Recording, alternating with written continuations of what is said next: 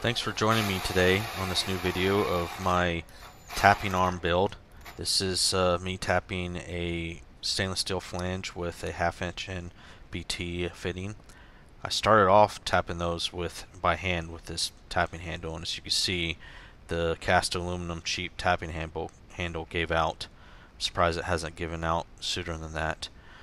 But uh, after this I thought of how can I tap these holes without spending a lot of money um, as the tapping arms on the internet are quite expensive. Well, I came upon this thinking, ooh, this is a gear reduction unit with a half inch drive. So I can uh, use this in my tapping construction to reduce the uh, amount of force that's needed. And also these uh, um, tapping